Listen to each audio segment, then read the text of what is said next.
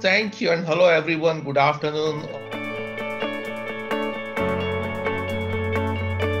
It offers me a lot of information that I need. I think it's one of the must-see, must-visit meetings of the year.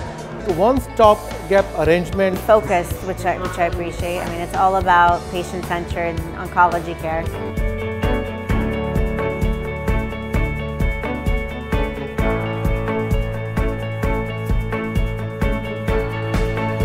Nothing can keep you up at night like the concerns people have about cancer. What we're talking about is real change.